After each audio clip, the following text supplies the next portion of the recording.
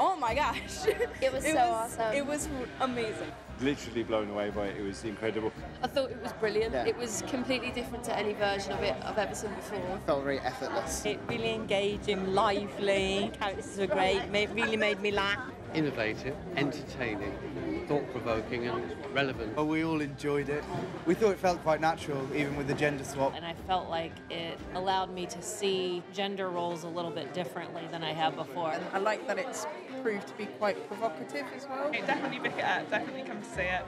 Easy to watch, funny, good message, and visually very good. I think people should definitely come to see it. It's a must see, a must see it.